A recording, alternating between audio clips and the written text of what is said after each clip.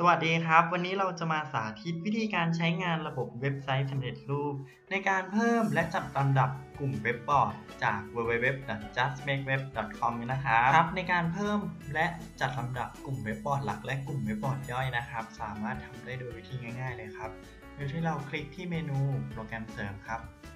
จากนั้นคลิกที่เว็บบอร์ดครับอันดับต่อไปนะครับให้เราคลิกที่ จัดการกลุ่มและบอร์ดครับ จะปรากฏหน้าต่างแบบนี้ขึ้นมานะครับ ครับในการจัดลำดับกลุ่มเว็บบอร์ดหลักนะครับ ให้เราคลิกเมาส์ซ้ายที่เว็บบอร์ดของเราครับ จากนั้นให้เราทำการเลื่อนนะครับ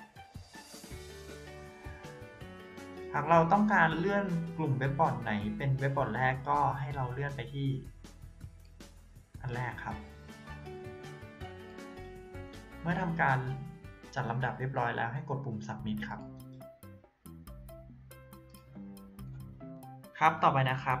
เราจะมาทำการเพิ่มกลุ่มเว็บบอร์ดย่อยกันนะครับ ให้เราเลือกกลุ่มเว็บบอร์ดหลักของเราขึ้นมาหนึ่งตัวนะครับ จากนั้นให้คลิกสัญลักษณ์เพิ่มหมวดย่อยนะครับ เข้าไปในกลุ่มนี้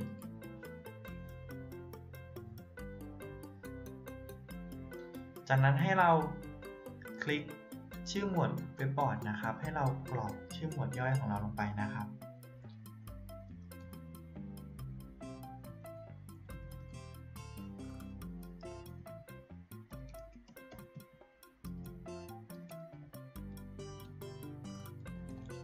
จากนั้นกดปุ่ม submit ครับ ครับเราก็จะได้หมวดย่อยขึ้นมาแล้วนะครับ หากเราต้องการจัดลำดับหมวดย่อยก็ให้เราคลิกเมาส์ซ้ายค้างครับ จากนั้นทำการเลื่อนครับ เมื่อเพิ่มหมวดย่อยเรียบร้อยแล้วนะครับ ก็ให้กดปุ่มที่อัปเดตครับ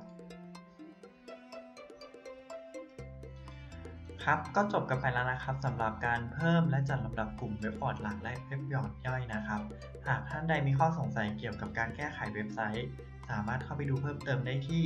www.justmakeweb.com หรือส่งคำถามเข้ามาได้ที่ support@justmakeweb.com สำหรับวันนี้ขอบคุณที่รับชมครับ สวัสดีครับ